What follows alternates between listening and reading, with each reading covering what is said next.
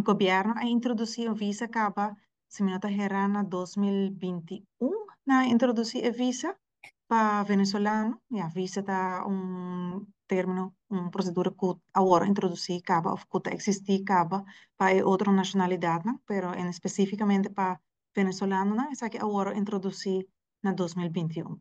Personas de nacionalidade venezuelana, por exemplo, nacionalidade venezuelana, lo tiene een embajada een país de residência, een embajada holandês, para assim aí não por aplicar para um visa para vir a Aruba.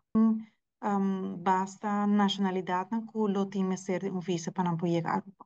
E pessoa não pode haina is haina aqui na embajada holandês, na e país de residência, e na não pode informar preciso que está é requisito na que não lo mesa entregar lo cual que no sin entendí que para um, pa Caribe holandés tiene un cuota para lo que te trata eh, venezolano, ¿no? que está un 8 mil visa lo por guardo otorgar para año. Ok, esa aquí está una decisión que ahora toma um, um, para Holanda, para Reino. Exacto, una decisión que está de, de Reino, sí, correcto. Lo cual que um, nos tiene agregar también que ja, eigenlijk not de Aruba is om te decidi si a persona te haya un visa of no. Pero is het eigenlijk het kaiding mang di um, di funcionário na holandês.